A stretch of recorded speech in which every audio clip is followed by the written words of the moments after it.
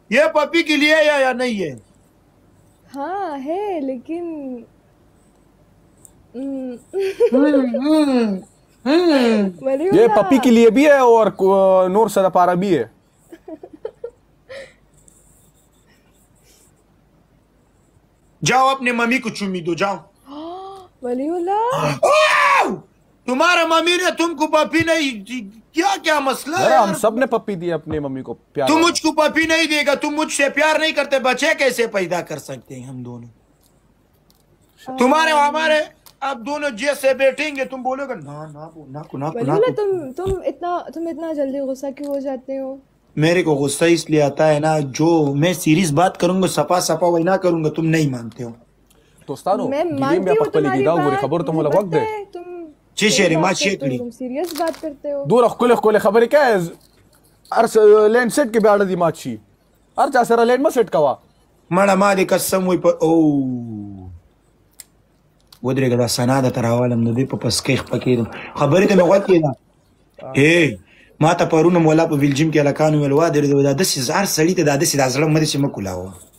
دار سړی ته دا د سیمه خان دار سړی ته داخله مو چینګ هر سړی ته رور خور مو هر سړی ته انډیوال مو هر ځای صحیح ده هر سړی ته د رور ویل زګه خو قسم دې ما خو چې چاته رور ویل قرآن چې خور وخی چې په دیر چې پاره زم چې پرتوک می تیسته واد ر کونه کې متسکروټ یا چولې الکه هر سړی ته د امرور ویل زګه خو دور مینه ده کنه یار ته دا څنګه یو چې خور وایا خور بس چاته مو وایا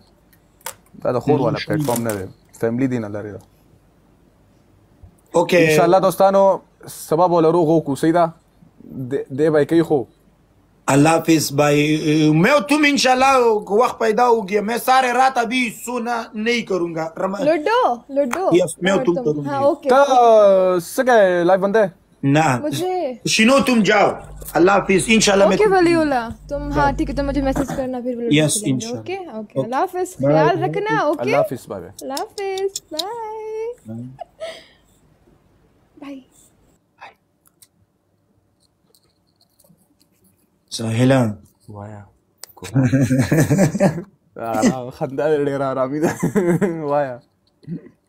خپه مې ما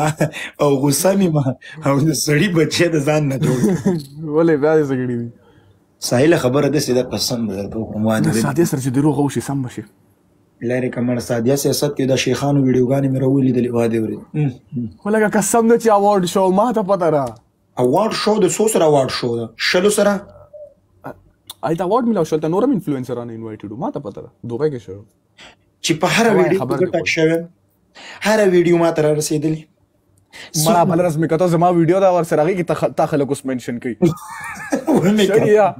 بچې د سرک په سر دی سره غډاګانی کړي سرک په سر دی گفتگو خپه په دینه مسایله زه والله الله مې په سر دې قسم مې دې په خدای کې دروغم زه یو هغه انسان ته یم وادرې چې په خپل ناولې په ما باندې ځان پاک پاک حسابې زه چې څنګه یم دغه سي ځان حسابوم والله په قران کې په چا ځان خوشي کوم والله که چاته لوی لوی خبره وکم سم ده ته چې وسنګ یې ساحل ته باید په هغه چوکاټ کې پاتې شي چې تیر استاد ډیټیل راوځي واده وریدل چې ساحل د یو دو نمبر سه انسان دی خو له دغه څه غلط استعمالي واده وریدل تا اول د شاته څنګه انسان دی نو د څه غونه د پکار کنه په تما بس سل ډرامې جوړ شي سل غوي می جوړ شي چې خدای پاک دې بدنام نه کی خدای پاک دې رسوانه کی واده دې بندت څه کونی شری چې تا برسوا کی او تا بدنام زه دې ته پاره ویم چې څنګه یې هماغسې زړه کې پاتې شه څنګه چې یې هماغسې ژوند وکړه دلته راشي ماته استغفر الله استغفر الله نه تا ولي الله حرام او شیشه دا درته څوک وایي مړه خو دا ټولې درته یادو ما دې ورېده ما ته یو نیم بعضې کس وایي که نه وی ولی الله چې دلته راشي دا ته چې یوه خبره وکړي او هغه ته وایي مه کوه ولی الله داسې خبره اول ته د خلکو سره وادرېده جوختې جوختې یعنی